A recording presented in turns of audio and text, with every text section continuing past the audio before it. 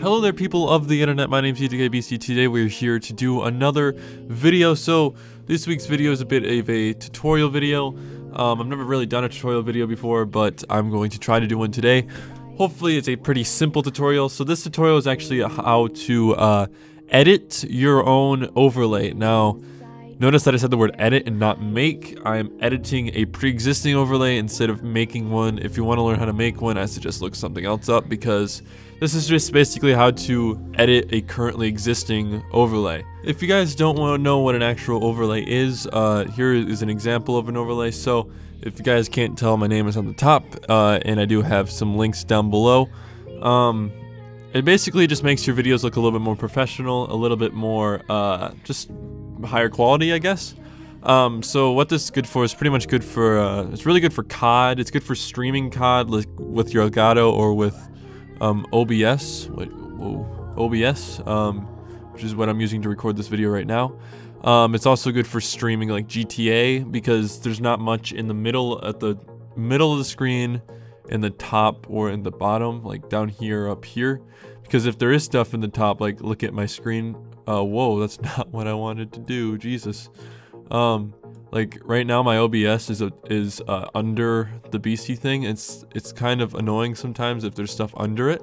So maybe you should look into that before you start streaming and recording with stuff like that. But um, we're not going to talk about that right now. We're going to talk about making it. So get this off my screen first of all. There we go. Okay, so First thing you're gonna wanna do, uh, if you don't have Elgato software already installed, like let's say um, you're doing this for OBS, uh, I suggest you either look up uh, a, a, template for, I think there's a way to do it, probably, Google Images, um, that, uh, Google Images, YouTube overlay template. So there are free overlays and stuff like that. Obviously, there's ways to get some. Right here, that's that's a pretty decent one. Um, here's another one. Uh, if you want to just, I don't, I don't suggest you just blatantly put stuff over these, but if you want to, then do it, I guess. I'm not controlling you. But if you already have the Elgato software installed, you should already have them. So if you go into your local disk your program files times 86 and then uh, Elgato like this. Mine isn't in here, but yours should be. If you guys put your file in a different spot on your computer, then it will be there instead. Uh, mine's right here, second drive. Uh, and you go to overlays. There's a file called overlays. Uh, you double click on that, go to images. Um, you will find a bunch of these. So I'm actually going to use the Elgato Ultimate 2 for this tutorial. Another one that I found pretty uh, good that would work very well is the Elgato Headshot 2. Very simple. You can just add in your uh, whatever you want right there into those links. But for this one, I'm going to use the Elgato Ultimate 2. So um, that's also uh, this one that you see here. Um, so first of all, what you're going to want to do is you're going to want to copy this where is it? Uh, right here. Uh, just copy it and paste it onto your desktop or wherever, I guess, wherever you can find it easily. Now you're going to want to uh, install, if you don't already have maybe Photoshop, if you don't already have Photoshop, maybe, uh, or if you don't have Paint.net, or you could even use Paint if you really wanted to. It wouldn't look as good, but you could do it. Um, you can install paint.net, which is the way I'm going to do this. Um, so there will be a link in the description. You just install it. There's a download button. Very simple. It's free, 100% free. I'm not pirating anything. The next thing you want to do if you are downloading paint.net, then you will grab your plugins. Um, right here's a link. It'll be in the description as well. Um, basically, the thing with those plugins is once you download those, those are basically all the plugins you need for editing photos basic, like basic editing. Uh, you really don't need much else unless you're doing something like crazy. Um, very simple. Uh, there's a link. There's a button to download those, and it's an installer, so it just automatically installs into your Paint.net, so there's no hassle. So you're gonna want to double click on Paint.net once you get all that installed. Real easy. Um, and it will look like this. Actually, it'll look more like this. Um, like like that, something like that. Um, I normally don't have these two history and tools up, but I'll, I'll leave them up for this tutorial for the sake of the tutorial. So what we're going to do is we're going to shrink this box a little bit and just drag it in and you can hit open or you could if you really wanted to you can open a file from the corner up here. Um so this is basically what comes up. I don't know why it's doing that. It's kind of freaking out a little bit. For some reason I can do this and it will. Okay I'm not even clicking anything honestly it's just doing that on its own okay so I clicked off and it changed okay perfect no more glitches cool so now this is basically where it's 100% up to you. You can change the color of it all. You can change the little logos down here at the bottom. I'm just going to change the color of it really quick. So if you want to do that, you go to the paint tool over here in the tools. You can also click down if this, if, uh, oh, if this menu isn't here, you can just, uh, like click down this down drop bar, drop bar and it is the same thing. So click the paint bucket. And then for color, I'm going to change it to this darker gray pre-existing one. Now you're just going to simply click, click, click, click on all the parts that are gray. If you want to change it to color to something else, then do it. It's up to you, obviously. This is yours, not mine. Uh, so click all those, and then you're to want to go to down here to shapes at the bottom, or it's at the bottom of this too.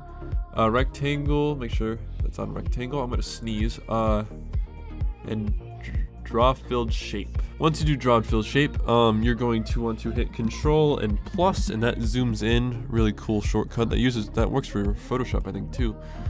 Really great. Uh, and then you're just going to draw a box over the Facebook and the Twitter logos.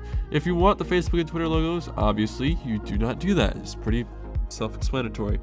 Um, so we're going to do that. Zoom out. Well, it's control minus to zoom back out, by the way or you could just do it down here. Um, now for the out the outer line color, you can do whatever you want. I'm I've already done like blue and red. Well, obviously it's blue, red, and green. So I'm gonna do like a maybe a darker purple. That would be kind of cool.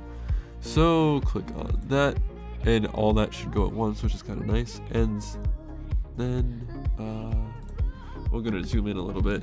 You know, Control plus just to zoom in a little bit and click here and here. So there's all that. Now, if you want it to look a bit more, you know, how it did before you put it in the editor where you can see through it a little bit, you simply make sure your background is selected. no, you go not effects, layers, layer properties, aka F4. You can also hit F4 and it does the same thing. And I like to put mine down to about mm, 230-ish. That probably is a good number. You can also change it if you're using the Elgato settings. You can also change the opacity while uh, while in the, the Elgato itself. So that really shouldn't like bother you that much. Now you can add a layer in the layer selection here. Always add a layer if you're going to add text because if you don't add a layer, then the whole thing will move if you try to move just the text. Like the whole entire image will move and it's a whole fucking mess. So I'm going to use uh, I'm going to use the bold font for this.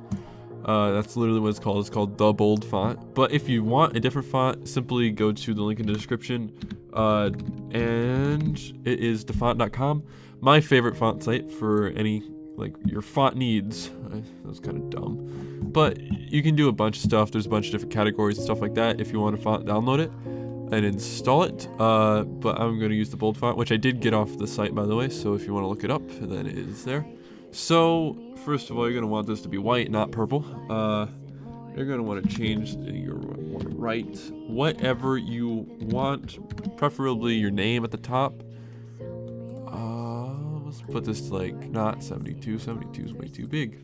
I was thinking more like 48. Okay, that's a little bit too much still. I'm going to do like 44. That's probably good. So move select to pixels, you can just move the text. If you didn't have, if you only had one layer, then the whole entire background will move like this, woo, and it doesn't, it's fucking dumb. Um, so, now if you want to center that text, uh, you simply go to effects, make sure that, so let's say uh, I click this, um, you don't want that like this, you want to, if you're trying to align objects, you want to click up here the deselect button, uh, a little X with like a square, uh, and then go to object align and horizontally uh, align. That was the word I was looking for. Now, um, so there's that. So that is perfectly in the center now.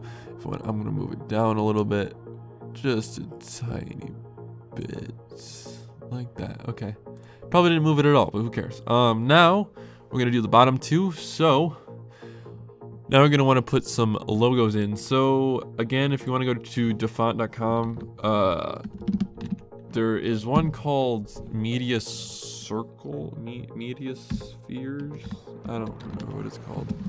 Media, new media. Um, social. I'm an idiot. I'm an idiot. No, don't do that. Social. There we go. Socials type. Um, no, it was social shapes. That's what I wanted. That's the one I got, I think. So it's one of these. You can just download these. They're free. They work just like text. It's very easy to use.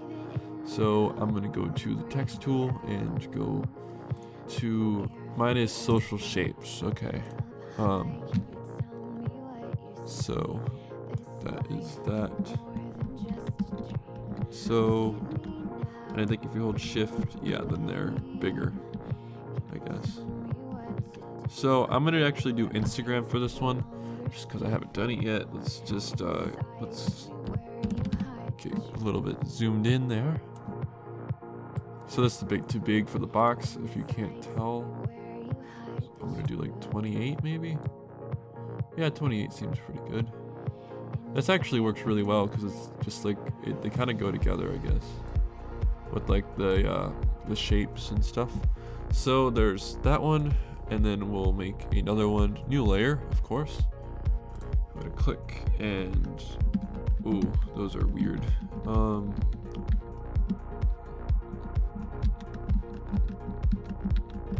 um, okay, there's the YouTube one. So we'll use that one.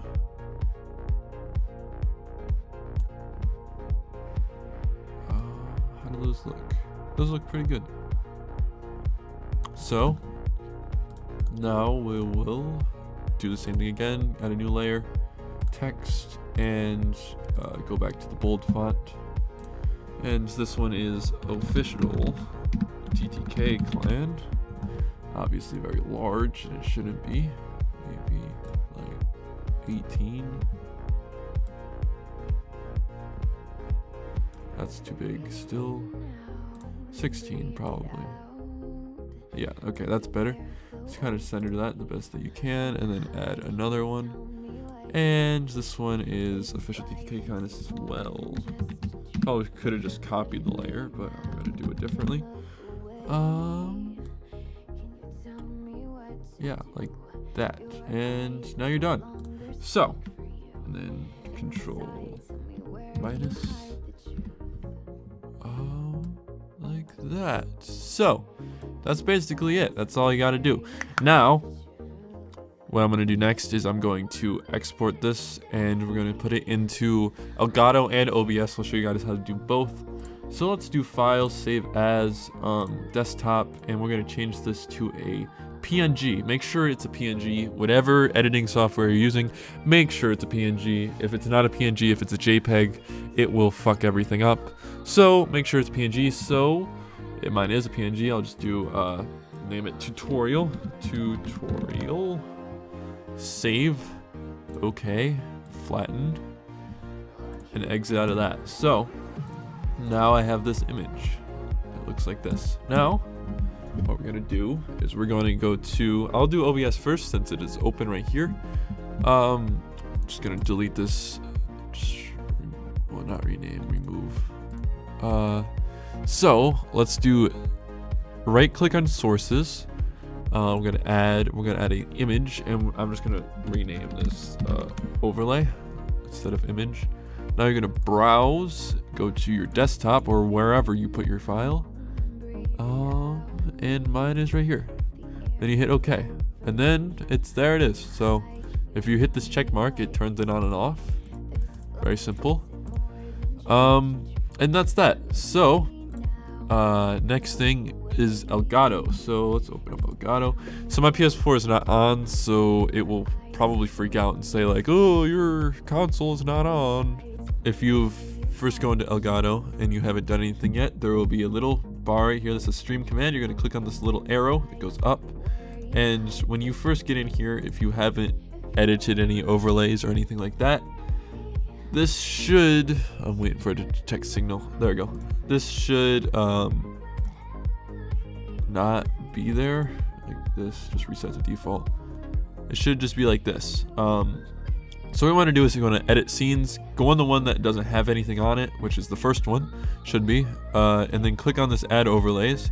Then you want to go under image and add image, and then go to wherever, um, wherever your image is, and then like this. So now, if you want to go here to opacity, you can uh, turn it down, see how transparent the image actually is.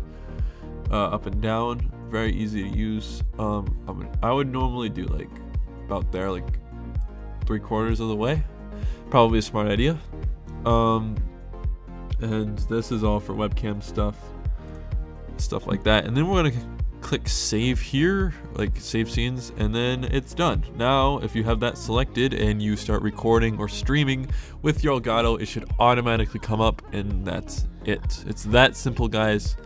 And that's basically the end of the tutorial. Um, obviously, it's up to you. It's really up to you. Uh, you can mix and match. You can do whatever you want. Be creative, obviously. It's your video, your life, your channel. Do what you want to do. And anyways, guys, that's going to be it. I hope you guys enjoyed. Make sure to like, subscribe. Maybe I'll do more tutorials like this in the future. Maybe like more editing tutorials like Photoshop, like this kind of stuff. Um, stuff like that. Uh, maybe more uh, videos, maybe how to like edit video stuff.